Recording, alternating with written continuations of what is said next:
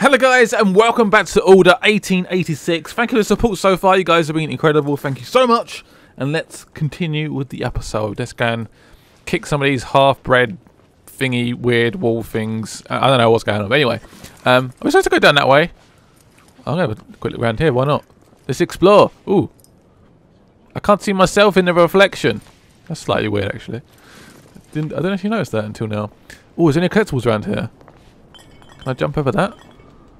I can't jump over that. It's like a really high wooden plank. So yeah, can't go, can't go that way. Fair enough. Uh, so this is the first video I've done since the review scores come out. Um, and it wasn't reviewed very well. I think people have been a little bit harsh on it, to be honest. I think this game is... Oh, sec. Is this... Ooh! There is a collectible around here. I knew it. Oh, what's this? It's like the first Steam engine or something. I don't know. Uh, leave. Okay, thank you very much. Is that a think? I think that's think. Right, let's go back the other way. Yeah, it didn't review very well, unfortunately. I think it was a little bit harsh. They were saying, oh, well, the game's a bit short. Okay, yep, it's a little bit short.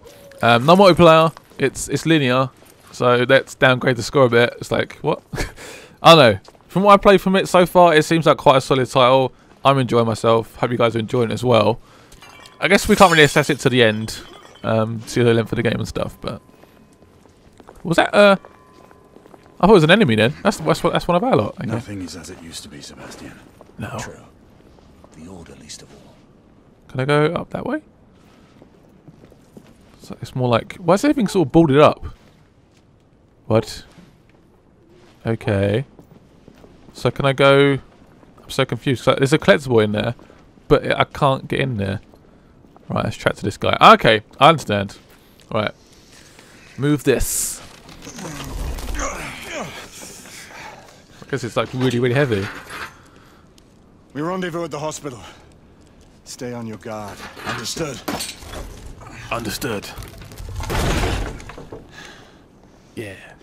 Back to gameplay. That's that transition is monsieur. is done so well, like truly well. Oh. Whoa! Man, that guy's got some strength.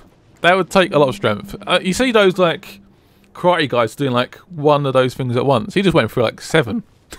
just, The ashes are still What? warm. okay. Why are we looking at this for? Like, let's inspect it. Let's play with the smoke. Ooh, my little twisty patterns and stuff. I'm enjoying this too much. Let's move on. Right. There's lots of like stuff that sort of falls over in that.